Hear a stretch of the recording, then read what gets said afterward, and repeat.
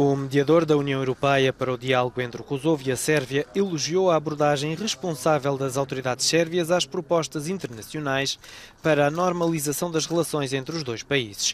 Miroslav Lajčák chegou a Belgrado na sexta-feira, acompanhado pelos enviados dos Estados Unidos da América, de França, Alemanha e Itália.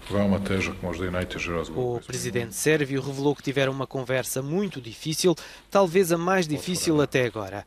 Alexander Vucic sublinhou que foi uma discussão aberta e séria e que chegaram a acordo que o conflito congelado não é a solução.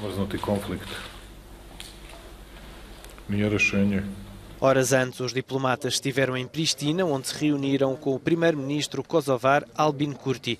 O objetivo destas visitas é promover uma reunião entre os dois líderes, de modo a normalizar as relações entre ambos os países, em especial após meses de forte tensão no norte do Kosovo.